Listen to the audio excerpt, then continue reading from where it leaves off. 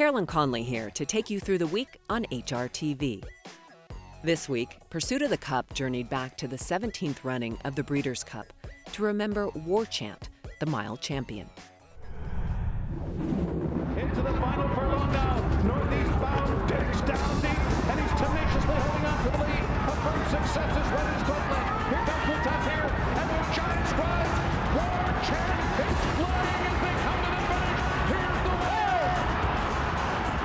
Coming from 13th in this field.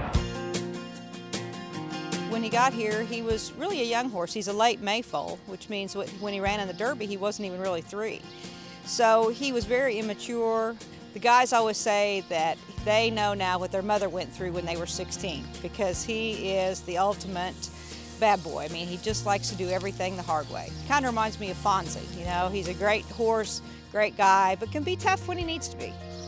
They've been exercising horses here for a long time. We started when Seattle Slew came, and it really is not only for their physical benefit, but for their mental benefit. It's somebody else telling them what to do, somebody else getting them out in the morning. You know, it's what they're born to do. They love to do it. He has a great time. He's the first horse that goes out every morning. He's just a real professional every morning, but he loves to go. War War coming from 13th in this field. War Chant, you rode him to victory in 2000. They talked about how aggressive he was, kind of a bad boy. I can see why you guys fit uh, well together. Yeah, Neil Drysdale came to me. I was actually retired at the time. I hadn't come out of retirement in 2000. He said, I've got a horse for you. We're going to win the Breeders' Cup Mile with. He said, but you've got to ride him. I started working him about a month before I made my return. I rode him in a prep race. We won that. And I was in the winner's circle in the Breeders' Cup in one month. So Neil hit it right on the head, and the, the farm manager hit it right on the head there, too. He, he was a bad boy, but a good boy. He could fly home. Well, when you get those phone calls, you certainly got to pick up your head. Gary Stevens, 2000 Breeders' Cup mile win with War Chant, Lafitte. Gary, do you think that you got there in time? Yeah, I did when he kicked in the gear. When I swung him out coming into the stretch and hit the, the mound out in the middle of the track where the fastest going was, there was no question in my mind I was going to get there. It was just, uh, I didn't want to run out over the t- hor- top of the horses in front of me. From a memorable miler to a very memorable three year old, Ron Turcotte was on the phone to share stories of the 1973 Triple Crown winner, Secretariat. Now and then the stretch. It's Sec- Secretariat. Secretariat on the outside to take the lead. Sham holding in second. It's Secretariat moving away. He has it by two and a half. Sham then on the outside, our native. At the wire, it's going to be Secretariat. He wins it by two lengths. When you go to sleep at night, do you still ever reflect back on what it was like to sit aboard Big Red?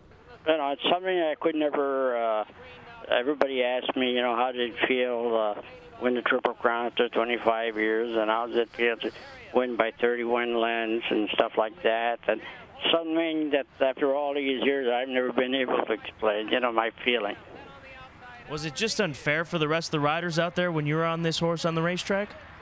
Oh, I guess you could say that. When he was right, yes, he was incredible. Was it tough to say goodbye to him when they when they retired Secretariat? Yes, you know, there's some of, you know, they were, you know, like family to us. You know, Secretariat and Riva Ridge. Uh, they were, you know, we spend uh, a couple of years with them, and you know, you get so accustomed to them. But you try not to fall in love with horses because you know you're going to lose them sooner or later. If you don't get taken off, you'll you're going to retire anyway.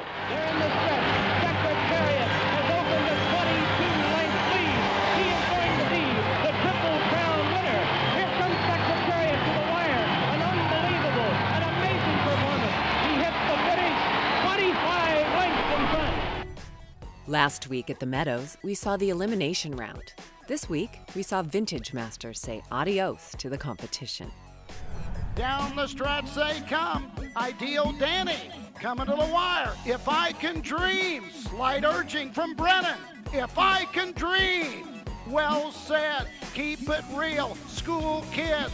Well said. Keep it real. They're just jiggy jogging. Well said.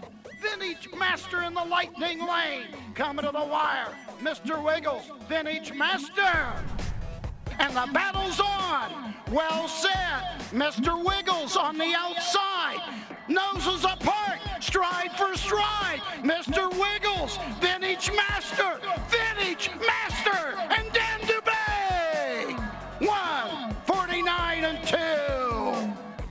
Vintage Master with Daniel Dubé in the bike. Vintage Master had finished second, a nose behind Mr. Wiggles in the eliminations. And Vintage Master had finished second, also behind Well Said in the Meadowlands pace. Huge upset at 13 to 1 as Well Said at 2 to 5 unable to get the victory there in that Adios finals. So, uh, well said, not his day today. Michael Stoute's impressive 1 2 3 finish in Ascot's King George was highlighted by Conduit, winner of last year's Breeders' Cup turf. International reporter Fanny Salmon was on site for all the action. Run on the mile and a half of the Velvet Turf Course of Ascot, the King George is the summer jewel of the English Classic program. A race that Sir Michael Stoute knows very well, having won it with Shergar, Opera House, and Golan. A contest he targeted with Conduit, British Cup Turf Champion 2008. Well, he won it there last year, so obviously, you know, it's on its agenda, but we won't we don't have anything set in stone. And the fact that uh, Conduit is eligible to participate in the Breeders' Cup again is a huge thrill and assuming that everything goes according to plan and the trainer thinks this is what he should do. Sir Michael Stoute dream, the three of them fighting out the King George. In front, Conduit, Ask battling back with Tartan Bearer, but it's Conduit who's extending all the way to the line. Ryan Moore has chosen right. What a day for Sir Michael Stoute. In the final furlongs, Conduit leaned on stablemate Tartan Bear, prompting an inquiry. After hearing both jockeys, the stewards left the placings unchanged. One, two, three. Well, you could you couldn't have dreamt of it really, and I was more pleased that these three high-class coats have they've just run up to just about their best. You know, I didn't think they would reverse the placings. I think the best horse today won but he did interfere with the second. But from my point of view, it was consoling that there was the same ownership, not just the same trainer, it was also the same ownership. I think he brought us luck today. When HRTV Rewind returns, we're heading to the spa. Average cost of a manicure, Siegel. I know you don't know this. I don't know. No, I meant Saratoga. Has the party already started out there at Saratoga? What's going on behind you? you know, you guys made the mistake of calling me right as I was passing these jazz musicians. And John Avello helps Aaron and Jeff pick a winner. If it's firm, if it's yielding, if it's good, I don't think it matters. She runs on everything. And forever together, coming with giant strides, and there she is to win the Diana again. Forever together. bullet drill here, and you've done some great work. And now, spa opening weekend, we're going to do a little spa trivia, but not that Saratoga Racecourse Spa. Average cost of a manicure, Siegel. I know you don't know this. I don't know. I don't know. 30 bucks. I don't hey, know. You know what? That's about right. That's really close. Most popular polish color when getting a manicure? Uh, red? Yeah, that's close to French manicure, actually gloss. oh, that's tip. not a color then. Now, this is the really big question. Okay. Mud bath. Is it really mud? I'm going to call it sloppy, then mud, drying out to good, and then fast. Wow, upgrading it. It's actually red clay, sir. Okay. Trainer Tom Amoss joined Race Day America this week for a little back talk before Saratoga's Sanford Stakes. How has he changed mentally and physically from one race to the next? Well, um, that's a good question, uh, and I would say that that uh, what I liked about his last race was that his trip was not clean. He stumbled a little bit at the start, fell behind horses, and around the turn with more than half the race still to go, he really didn't look like he was a horse that was was into it, a horse that was going to win. So the fact that he battled battled and uh, and won that race, I think, plays uh, big for for him. Has the party already started out there at Saratoga? What's going on behind you? you know, you guys made the mistake of calling me right as I was passing these jazz musicians. So you're probably hearing that, but I can tell you, you well know every day's a party here. Tom, how much fun is it to be racing at Saratoga? You know, Saratoga is, is, is one of those unique places, like Del Mar, like Keeneland, in that, you know, the whole place and the whole town that surrounds those tracks is all about racing. So it's for a trainer, it's one of those rare moments to be the center of attention, and for his horse to be the center of attention. And that's always very exciting. You know, we don't get a lot of that anymore. So, uh, so I, I, I definitely enjoy that. Back talk down the center of the racetrack. Nacho Friend is looking for a way through. Bulls and Bears has run a remarkable race to get in contention late. They are in the final furlong now, and here comes Enumerate. Enumerate between horses. Louisville Luminary is there. Back talk on the outside. Bulls and Bears, and down toward the rail. Nacho Friend A wild finish in the Sanford that goes to back talk. In case you missed it, here's a look back at opening week in Saratoga Springs. And it is Hot Dixie Chick. And she wins the Schuylerville by a half a dozen lengths. Back talk down the center of the racetrack. A wild finish in the Sanford that goes to back talk. And it is Be Fair, who has taken the lead away from Mary's Follies and will go on to win Lake George. And forever together, coming with giant strides, and there she is to win the Diana again. Forever together. The first repeat winner in two decades. Kensei now with a two and a half length lead. And Kensei takes the Jim Dandy by two. Kensei, Jess Jackson's just getting warmed up. Just enough humor. A rising star here to win the Fourstardave by almost three. Seven straight fighting hard all the way. Missy Zella third. Sprightly narrowly. Seven straight fights on to the lead. It's Seventh Street in front coming down to the wire. A special guest from Las Vegas helped Aaron and Jeff pick a winner this week in the Diana Stakes. The Diana Stakes is a grade one. It's a $500,000 race. It is on Saturday. Goes as race number nine, and we're pleased now to be joined by John Avello, who's the director of the Race and Sportsbook at the Wynn Casino in Las Vegas. John, thanks again for joining us on Against the Odds. Oh, you're welcome, guys. We're looking at the Diana field, and I know you've delved into this already. John, who do you like? Well, you know, when I, when I look at the 10 horse Forever Together, um, boy, he looks awful tough against this particular field. He, uh, you know, he, this is only, this will be his third race back, and uh, after the Breeders' Cup Filly and Mare Turf race that he won, and, and uh, race that she won, and uh, you know, then a, a race at Keeneland on a on an uh, off track, and a race at Belmont on an off track. Both were decent races. I just think she's geared up and ready to run. But forecast shows for the next week possible rain. Uh, I know they had a nice day today, but it's volatile up there. I know it f- being from the area, so you never know what you're going to find from day to day. Uh, so, if the, but and, and Forever Together's case, it won't matter. It won't matter if it's if it's firm, if it's yielding, if it's good. I don't think it matters. She runs on everything. And there she is to win the Diana again. Forever together. Trainer Jonathan Sheppard stopped by Race Day America on Sunday after winning a second Diana Stakes with Forever Together. Jonathan, you told Karen Johnson of the Saratoga Special that that, that uh, Forever Together could be better this year, that you two have gotten to know each other better. What have you learned about her at this stage, and what has she learned about you? Um, she, what I've learned about her is that Ellie opinionated. uh, she needs to be handled uh, a little bit firmly but gently. She likes to kind of take her time. She likes to think that she's that it's sort of her idea to do something rather than you're kind of forcing her to do it before she's ready. Um, basically, just trying to keep her happy, keep her sweet. She still gets a pint of Guinness in her feet every night. I think helps. I think we've just sort of grown to respect and have confidence in each other a little bit, you know, like other relationships, really.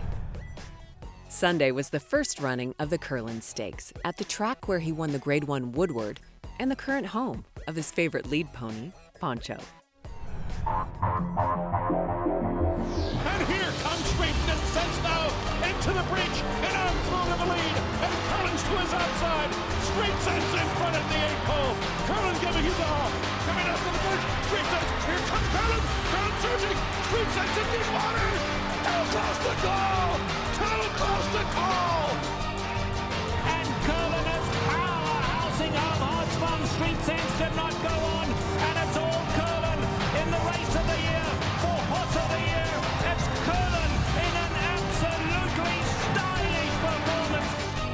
Robby Albarado and Curlin to go. Curlin lead close to the winning post. And from the red, white and blue corner by TKO is Curlin. The daunting presence of Curlin. It is Curlin now in front. Curlin, beyond cigar. He is America's richest racehorse. Blame Guam Typhoon and Gone Astray. It's now Blame and Gone Astray. Guam Typhoon will be third, and Blame, the winner, three quarters of a length. gutty effort from Blame and Jamie Theriot threading the needle to outduel Gone Astray to the wire in the Curlin Stakes. When HRTV Rewind returns, we're going all the way back to 1988. Great race. I thought she was hopeful this would beat the 3 8 pole. It shows what a good filly she is to be able to overcome it and win. And the Preakness winner versus the Belmont winner. She's six lengths out in front. Here's a filly for the ages. A Haskell legend, Rachel Alexandra did it. Welcome back to HRTV Rewind, taking you all the way back to 1988. In the 1988 Breeders' Cup at Churchill Downs, D. Wayne Lukas became the first trainer to win three Breeders' Cup races in one day. Lukas won the sprint with Gulch, the juvenile fillies with Open Mind, and the juvenile with 9 to 1 Is It True, who upset heavy favorite Easy Goer on a muddy track. Is it true? Trying to Meanwhile, Alysheba concluded his 1988 Horse of the Year campaign by winning the Classic. And they're off. Alysheba's Classic triumph perhaps is best remembered for being run in near darkness. And Ali Sheba, America's horse, has started! And the 1988 Breeders' Cup Distaff produced one of the greatest moments in the history of thoroughbred racing. At the top of the stretch, Personal Ensign was struggling in the mud. With winning colors running strongly, it appeared that Personal Ensign was headed for her first loss. Personal Ensign, five lengths off the lead of winning colors. But displaying the heart of a champion, Personal Ensign rallied inexorably to win by the narrowest of margins in a performance for the ages. Winning colors is there. Personal Ensign,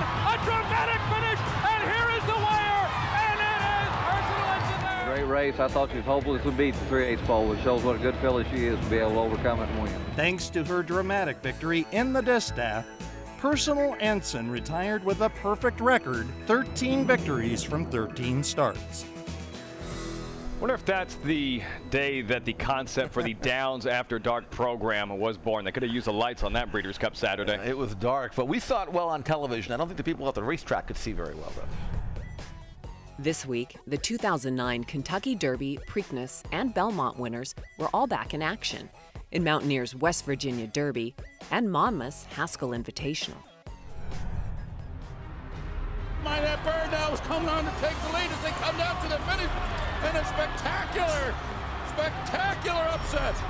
Mine That Bird has won the Kentucky Derby. An impossible result here. From the back of the pack, Mine That Bird. 13th, 12th, 11th, and he's 10th now. Rachel Alexandra, the leader of the field, turns for home. Mine That Bird looks for a way through, and he had to go way outside for it. Mine That Bird is third on the outside. The filly trying to hold on. She's clear by three. Mine That Bird runs at her late, and the filly did it! Rachel Alexandra has defeated the Kentucky Derby winner. Here comes Mine That Bird with a bold blitz toward the lead. He's catapulting by horses.